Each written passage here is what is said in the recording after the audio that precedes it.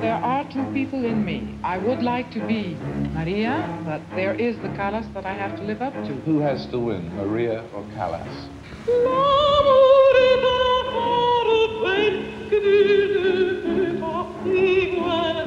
What brings you out to the line? Maria Callas, she's the greatest. Only for her would I do this. To miss her would be really a crime. This woman is undoubtedly the greatest singer of this century. As a technician, she's magnificent. As an actress, she is magnetic.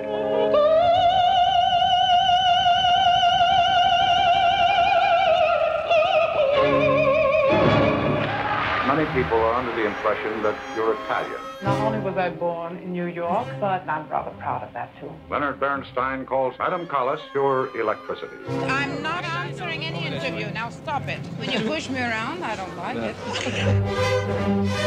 I cannot do those lousy performances. I want new performances, staged well. You really did fire Maria Callas from the Metropolitan. Maria Callas isn't fired. Maria Callas is severed.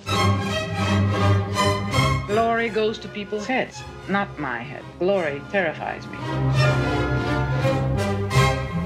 I would have preferred to have a happy family and have children. I would have given up this career with pleasure. But destiny is destiny, and there's no way out.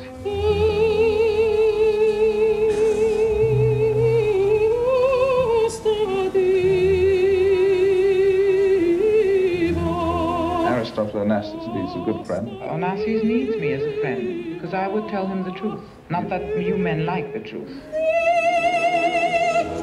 An artist develops. You do things by instinct, but we learn, we suffer, we mature. I have to feel what I do.